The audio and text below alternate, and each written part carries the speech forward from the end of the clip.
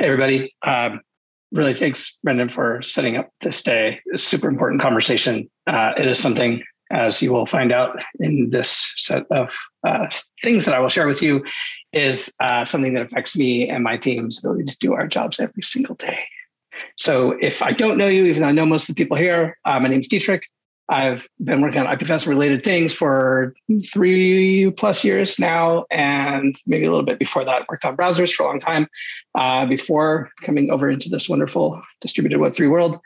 And I lead the browsers and platforms team at uh, Outercore Protocol Labs. And here's a sampling of some of the things that we're doing this quarter. As you can see, we work across a number of different areas, but the common denominator is really that we put IPFS into strange places where it is currently not. Uh, that's everything from browser integrations to uh, different mobile use cases, a lot of grants. Uh, like I'll talk a little bit about uh, Mauve and the work that you saw earlier, why that's important, um, as well as things like open source tooling, operating systems, and uh, use cases like space, metaverse, and IoT.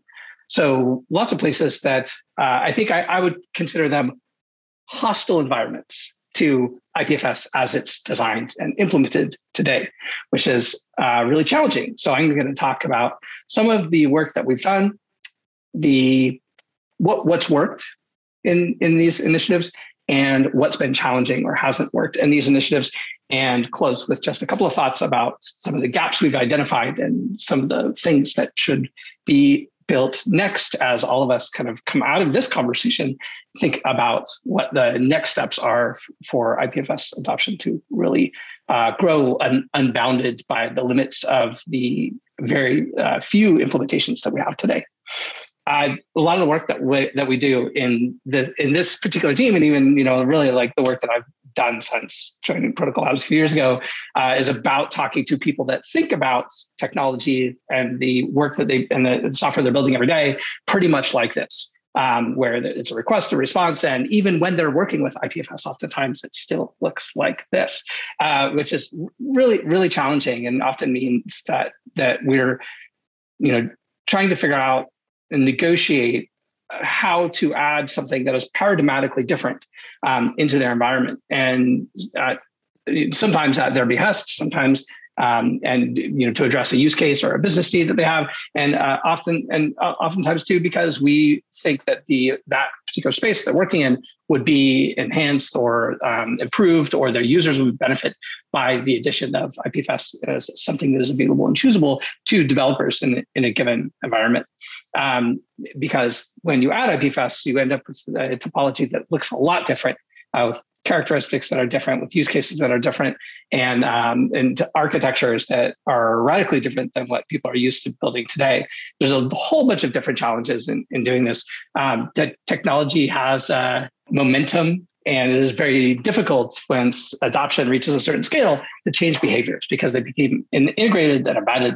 Uh, the tools that we use every day um, have a bunch of these kind of assumptions um, built into them around what the security model is, what the privacy model is, uh, where data comes from, how it moves between different systems, uh, how fast or slow uh, and even out at the glass and user features are designed with a bunch of the constraints of existing technologies in mind. And that's actually one of the bigger challenges from uh, you know reorienting people around what ipfs can do is the fact that they assume a certain set of behaviors or capabilities uh, that no that that are constrained to the given network implementation or the network architecture the underlying protocol, which are really not true anymore. Um, there also might be new challenges they have uh, with these new architectures, new constraints that they're not familiar with as well. Like um, in, in most Go IPFS APIs, where you make a request that never really truly ends.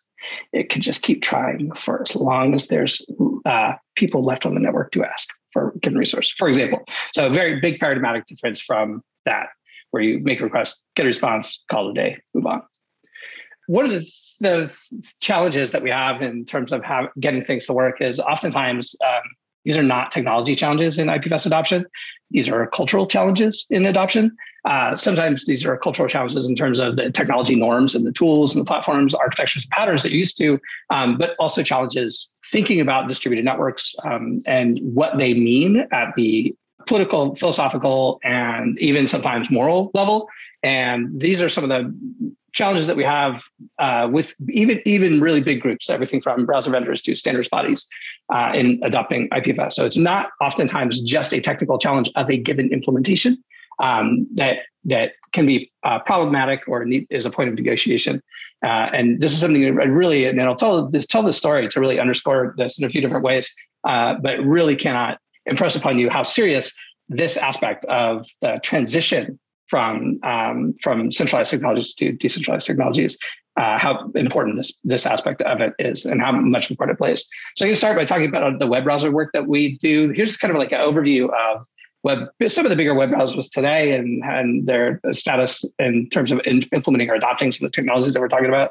Um, IPFS in particular, uh, as you can see, there's a surprising amount of green here uh, when I actually wrote this up, which is awesome. Uh, but at the same time, it's complicated. These uh, these oftentimes are specific relationships. We'll talk about a couple of them um, and and challenges. And sometimes people feel like they can talk about it, sometimes they can't. Uh, and and we have talked to a lot of folks at the major browser vendors, and there's uh, IPFS is definitely in, increasing in recognition. People at least know what it is.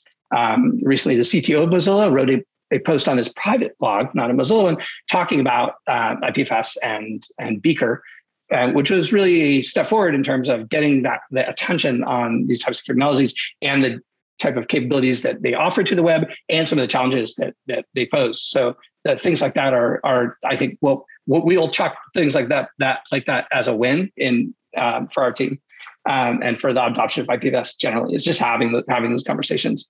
Uh, it's it's really complicated, and we we do even at some of the some of the bigger ones, even even Chrome, we have folks that are um, we sometimes read signals, right? Like uh, Google hasn't said anything about IPFS publicly, really necessarily, or supporting it in, in Chrome. You know, we're working on Chrome support, uh, but but we're getting really good uh, turnaround times on on code reviews for uh, PRs, for example. So these are the types of kind of tea, tea leaf reading that we do sometimes. Uh, Brave shipped IPFS support last year, and this is one of the biggest, uh, I think, victories of IPFS adoption in larger uh, scale um, applications. Brave has over 50 million users monthly right now and growing really, really fast. So this is a really big opportunity. IPFS is available to over 50 million people in software that they probably use daily um, or pretty close to it that they implemented the support for the protocol and also bundled the ability to optionally turn on a support for a full node of GoIPFS so that downloads GoIPFS and starts running it. And um, there's some things that worked here, which is, you know, again, in the it's not all technical all the time. Uh, we had willing, enthusiastic collaboration with them. They're super interested. We embedded a engineer full time in their team. Uh, we made a bunch of decisions around the user experience of, of IPFS. Now it's presented to end users off by default. Very, very clear privacy warnings. Uh, and then we experimented a lot. Like the first first thing that they shipped, what it looks like today is pretty different. We made a bunch of UX tweaks. We had to change a bunch of things around how the, the address bar is uh, constructed, designed, and what it communicates to end users. We shipped a, a kind of light option uh, on by default with the full option off by default and the ability to configure that. Um, and then like kind of this cascading set of, of user uh, interface pieces where people could, if they ran, if they ran into IPFS stuff, they would be presented with these types of options. Um, so being very, very careful is something I think that really worked here. Uh, a lot of the problems are how do you visualize how strong your connection is? Uh, the IPFS Go IPFS node uh, approach is really about peer aggregation and bandwidth and, and kind of like bandwidth available, um, but pretty much just peer aggregation. Uh, so there's not really any norms or design language or um, kind of UX work that's really been done around how to, how to communicate things like that, how to communicate trust uh, when trust is defined by the fact that uh, with content addressing and IPFS, it means that nobody has modified the content that you that you've asked for. You you you receive what you asked for, and you are guaranteed that by the protocol. Um, however, the traditional web approach to trust is that the website you loaded was granted a DNS name and a which is encoded into an SSL certificate, which uh, you can walk the SSL cert chain all the way up to a certificate authority, and the combination of those things and the browser having that CA cert in, um, integrated into it means that you can trust the website. So the the way trust is defined is radically different Um, it means very, very different things to end users and in specific use cases. How do these things live together? How do we communicate them? Still uh, very, very much undefined. Um, and I think one of the biggest things that has been a problem for a long time in IPFS, which was exacerbated when you actually gave regular people access to a full node, is where's my stuff? Uh, with a website, your stuff is on that centralized website server. Uh, with IPFS, maybe it's in your node, maybe not. It's pinned, it's not pinned. It got garbage collected. Maybe it's somebody else's node. Uh, it's out there in, in, the data soup of the distributed web. Very unclear. Um, and so each one of these things is a, a, learning for future implementations and approaches that we take. Uh, we have been working with uh, Igalia on Chromium fixes for quite a while now, and really moved from you know sort of like web compatibility fixes around the security model for local host access and things like that um, into lean into more directly addressing what IPFS support would look like in in Chromium. And you know, there's there's basically not really any way to easily bundle something like IPFS and Chromium.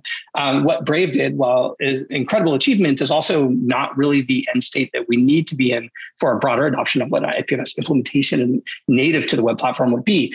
Um, so some of the things that have worked so far in this partnership um, in a community that is generally skeptical of uh, Web3 stuff generally, crypto generally, of um, where the kind of like security, because of the security and privacy assumptions and, and models of the web today, of Web 2, uh, the IPFS approach is uh, treated very much with skepticism and, and frankly is considered quite dangerous for a bunch of use cases.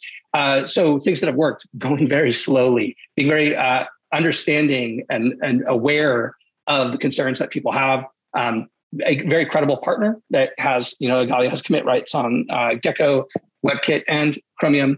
Uh, building up trust by uh, working on web compatibility stuff across all three browsers. Uh, not just going, let's you know, like bolt IPFS onto here and, and as fast as we can.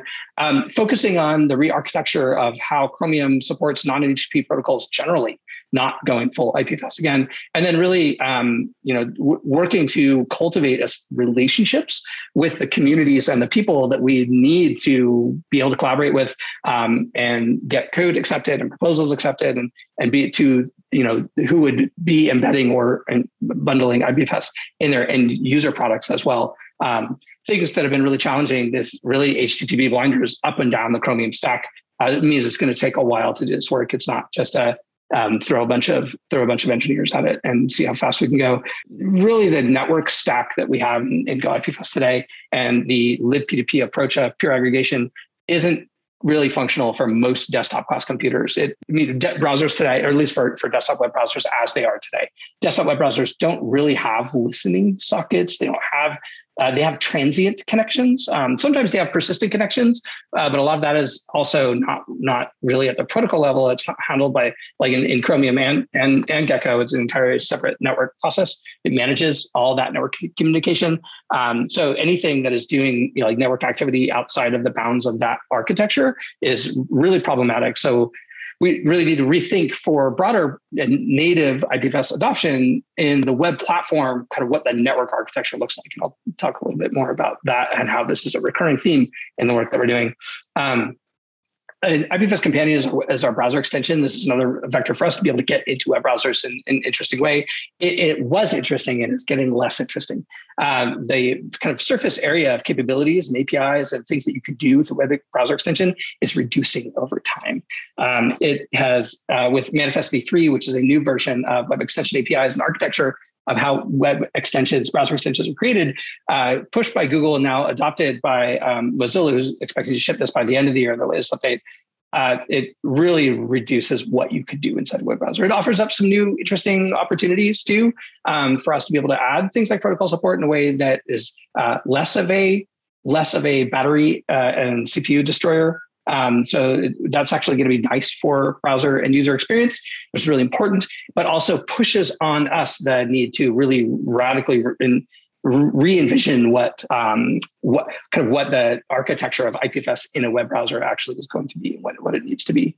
Um, so there's challenging there, and we've rewritten IPFS Companion from scratch uh, in the in the last couple of quarters. So we're ready for this transition, but we did have to remove features that we had before. And whereas I think at one point it was really thought about extensions might be a vector for native, like, channel through which we could implement more native IPFS support, that opportunity is just growing smaller over time. And we really expect that even uh, a lot of our partners will actually be pushed out into kind of a companion type of approach where we have a local node uh, doing uh, local HTTP or IPC over to that local node somehow.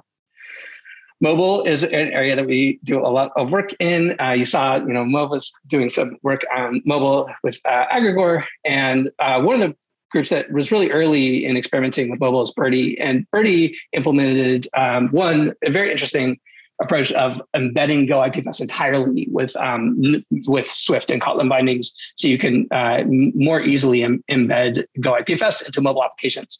That and and while this was an incredible achievement, again, similar to Brave, very early on in the kind of maturation phase and adoption of these technologies, uh, a very much a bolting on of something that doesn't kind of natively fit in.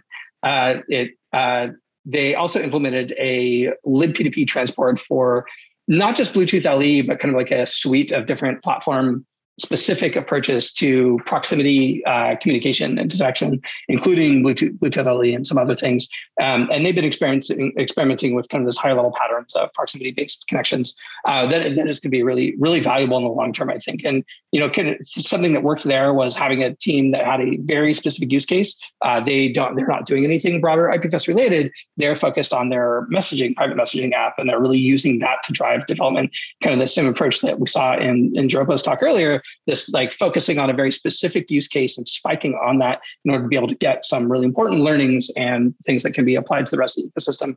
Um, they had a very specific focus too on local and offline technologies, uh, and they also have really taken a kind of slow, slow development approach intentionally, working directly with their community, working and getting constant user feedback, um, which you know, is is very different than a lot of teams where they're like, all right, we're not going to talk to users. We're going to sprint on this code, get it to where we think it is what we think it needs to be, uh, and then ship something. They've really taken kind of the opposite uh, approach there. And only recently, I think, even opened up um, public betas.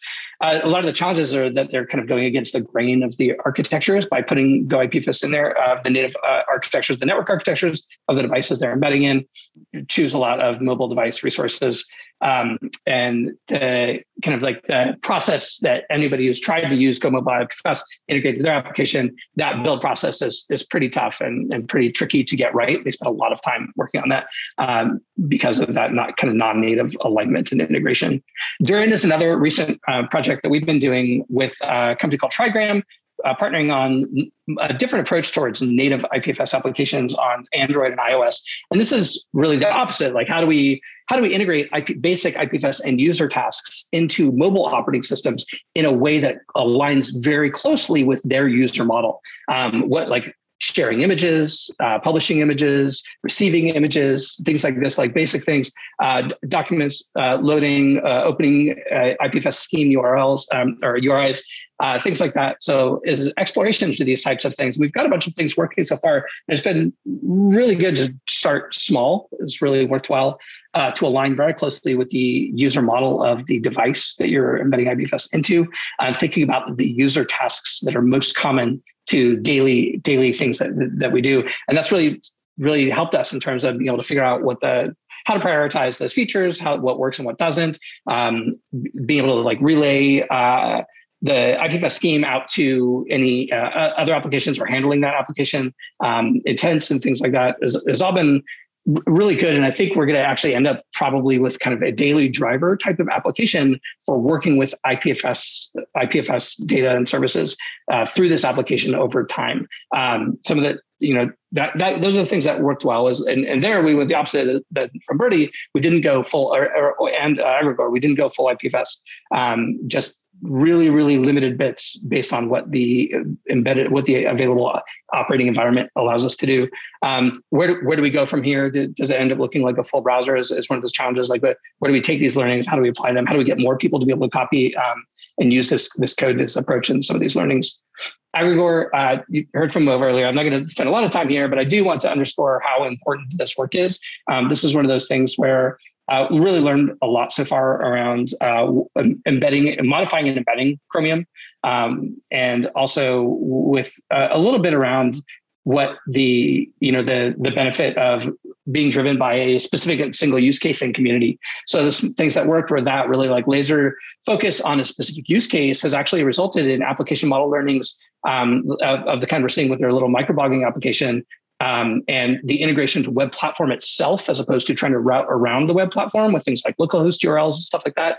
Uh, that is real, honestly, like just in this small grant, in this small period of time, we've learned more, I think, about what the what an application model for IPFS would be um, than a lot of the previous work where we kind of like bolted on or routed around. Um, so it's been really valuable. When it comes to challenges, Mauve wrote a really long post, which the first of a couple, really detailing kind of like just how, what it takes to build a Chromium fork um, and ship it on a on a mobile device is really worth reading. So we're really excited about the outcomes of the work that's going to happen there.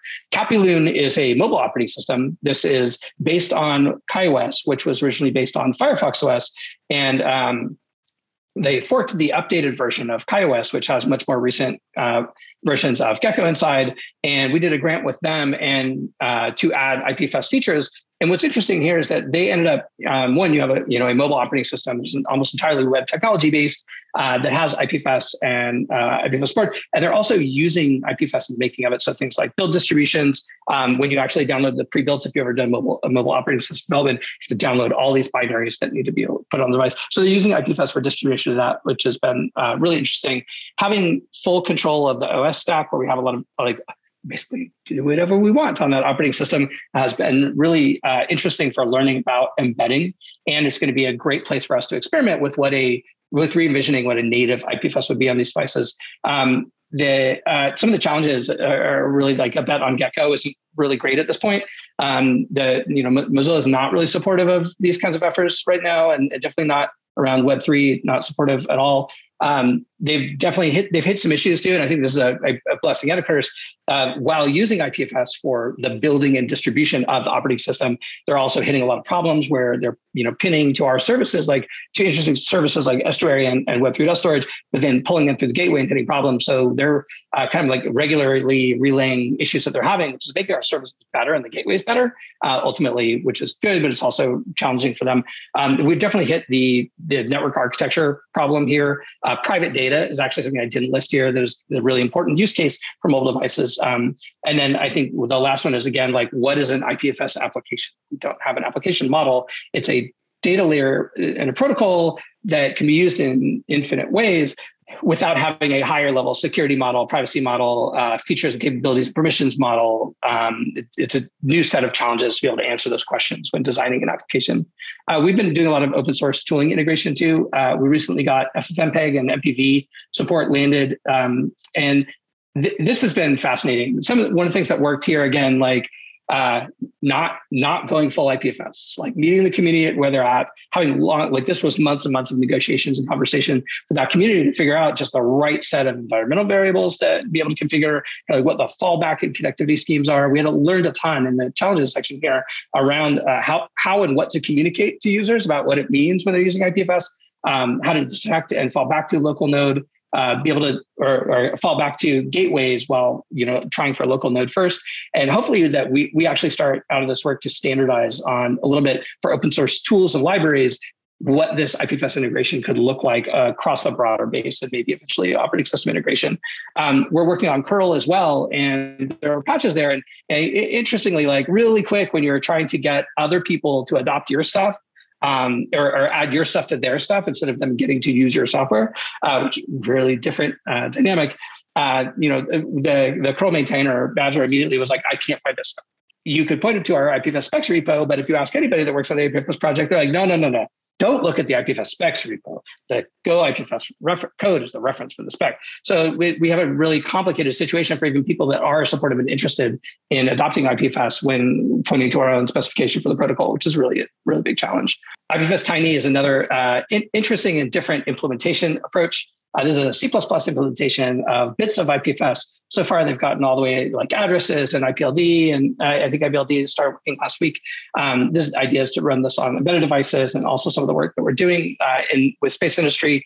And uh, what's worked, we're, we're not totally sure yet because we haven't deployed this code anywhere. Um, not not trying to do libp2p at all so far has worked, and that they've gone farther in the construction of the core libraries and things like that. And honestly, these devices that we're looking at aren't going to be able to run full libp2p anyway. One of the biggest challenges in this kind of work is the first question everybody's like, "Why C++?" And every time I hear that question, I have to be patient and understand and really explain um, kind of the dynamics that we have and in getting people in, in meeting people where they're at in order to be able to increase the chances of adoption. The embedding world is almost entirely C, C++, and people are, why, why not Rust? And Rust in embedding is, while it's way more mature than it was three, four, or five years ago, it's not the default. It's very far from it. And the number of production devices, when you're thinking about like hundreds of millions of devices being manufactured and shipped, uh, software change in, in that type of, of, of, industrial scale is very, very slow. So we need to be very, very careful. And people who are going to be making adoption choices around protocols are going to be using C++ for, for what, another decade, two, three, four. Um, so while we're also doing some work in encouraging embedded Rust use where we can, uh, things like this, like uh, these are embedding experts who work in space industry and uh, connected device industry and for, for them, it was a, like we had the conversation. For them, it was a very clear choice that the C was going to be the best. So sometimes the the biggest challenges are our own communities who think they know better about a whole given industry or, or environment or area, um, and and aren't really interested in this particular you know, the approach towards implementation.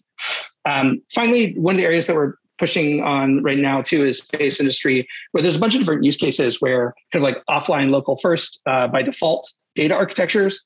Uh, configure, con, configurationlessness and nodelessness of IPFS when you're able to refer data um, by content addresses instead of locations. Also, very, very um, powerful features when it comes to uh, very slow, dodgy communications and very expensive data communications platforms. Or you might have space to space devices that need to kind of like uh, have loosely coupled data connections and interactions. Um, IPFS, again, very, very uh, powerful way to address some of these use cases. Uh, things like aggregating data across when you have like, you know, four six minute windows of data availability today as satellites are going by. Uh, things like IPFS and be able to refer to larger data sets in aggregate uh, across a number of disparate ground stations is going to be really interesting. We're going to do some tests, um, hopefully in the next year, with uh, different groups who are interested in this. And and again, like I don't think we know what's worked well yet, other than assuming we we know so far that the network architecture of our current implementations is a non-starter, really, given the constrained network environments that we need to operate in. Um, some of the other things are uh, unsurprisingly uh, aside from highly constrained environments are you know really highly proprietary code and, and companies that are and, and um, people that are used to working under that type of secrecy and, and operations. Uh, so we'll be able to share more um, but i think it's really going to push on our assumptions around what the network architecture of, of ipfs needs to be. Um, so that that's pretty much the, the the tour through some of the challenges of things that have worked, things that haven't worked, where the we've taken the current implementations and sort of jammed them into environments where that, that, are maybe hostile to it for a variety of different reasons. Um, IPFS does not have an application model, and that it, technically neither does HTTP. But the unbelievable success in the web platform of being in everybody's daily life almost all day every day has made that application model and really made clear that having an application model that kind of like uh, very clear idiomatic that is agreed upon by none parties standardized interoperable uh, really increases the chances that people can build the things they need to build and that they can do it in ways that are safe for their users. And so develop, the development of that application model and the integration with the web platform at some level um, i think is incredibly important uh, area of work for IPFS adoption and a gap that we have not yet filled. Um, but we're, we're making some progress there. IPFS implementation today, I think, is inverted. Like we really, by, by developing a node first application where we say you run a node, uh, that has really been a, the num- probably the biggest point of friction and even getting people that really are excited about it to actually be able to adopt IPFS. Um, we need we need people to be able to add IPFS to their stuff instead of forcing them to run IPFS and then figure out a way for IPFS to interact with it. Uh, the local HTTP uh, API approach is really cumbersome, even even though it seems like it wouldn't be. It causes a lot of issues. Lo- local IP, local HTTP connection isn't uh, well supported in the web platform anyway, and that's one of the things that we really push on the edge of in our work with Igalia. And we have it; it's better than it was, but even still, like WebKit won't won't make some of the fixes that we need for it to really work.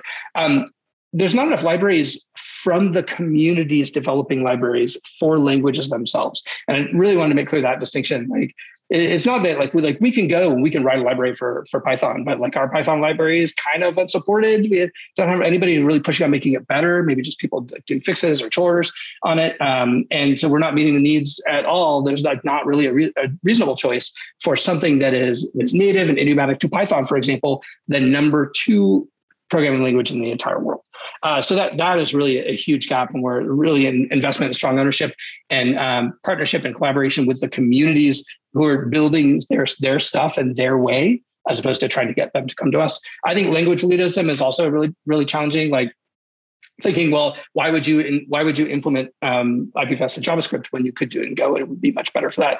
Um, I I really believe that when it comes to technology adoption, there's no best tool for the job. There are choosable tools, and developers choose the tools that are available to them. And there's a bunch of re- availability can be defined in many different ways. Uh, what is the language I know? What what is the operating environment that I have to run in? Not the one you would love for me to run in. Uh, there's like all kinds of reasons why people make choices around of make technology choices and adoption choices and you need to understand the reasoning behind them and oftentimes that is not the the you know lead engineer of project x uh, deciding what the what the best tool for the job is. Uh, this is especially true for something that calls itself a protocol but we have to be we have to be choosable in in all of the environments and that's how http won we need to be like water in that same way.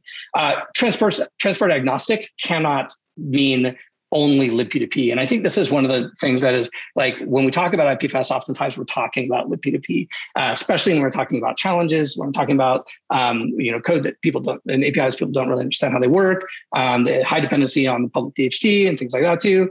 Without strongly decoupling these things when we talk about them and really treating IPFS as something independent of libp2p, where libp2p can be used for the um, for the transport layer or for the for the network architecture layer underneath IPFS. We need to be able to have other alternatives for at the network layer. Um, and then finally, the, the idea of transient network connections versus pers- persistent peer aggregation as a model for uh, connectivity and improving the chances that a given request will actually su- succeed for data. I think that model is fundamentally problematic for most places. Like even when it comes to private data, like we see, we're seeing large, lots of groups put encrypted data on public networks, which is kind of a non-starter for, for a lot of security professionals. Um, so we need to be able to have models where you can have an IPFS connection, maybe between one, two, between two, three, four peers to be able to exchange data and then shut that network down, or some some alternative ways of looking at how how transmission of data and, and connection between peers happens that isn't put it on the on the public DHT um, or uh, put encrypted data onto public networks. We need to be able to have a much more adaptable and configurable approach towards how uh, what a network is and how it is constructed, and how data is routed around it. So those are some of the things that we've done. Those are some of the things we've learned. Uh, and sorry if I went a little